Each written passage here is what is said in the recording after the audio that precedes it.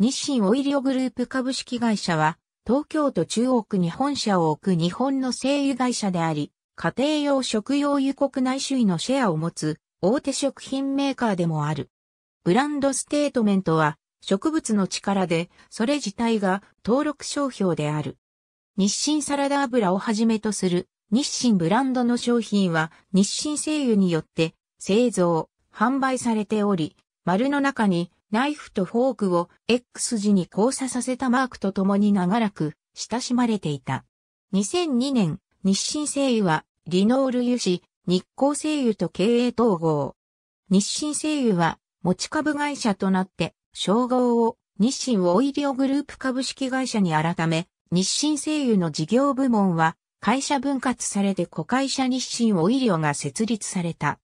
2004年、日清オイリオグループ株式会社、日清オイリオ、リノール油脂、日光製油の4社が合併、改めて日清オイリオグループ株式会社が発足した。社名のイリオとは、油を意味する英単語、オイルに、それを反転させた、例を重ねた言葉で、製油業の原点を大切にしながら、新しい分野へ次々とチャレンジしていくという意志が込められている。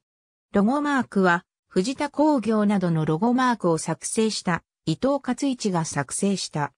なお、日清食品や日清製粉、日清宝石、日清医療食品など、日本国内には日清を冠した著名な企業がいくつか存在するが、それらとの資本関係はない。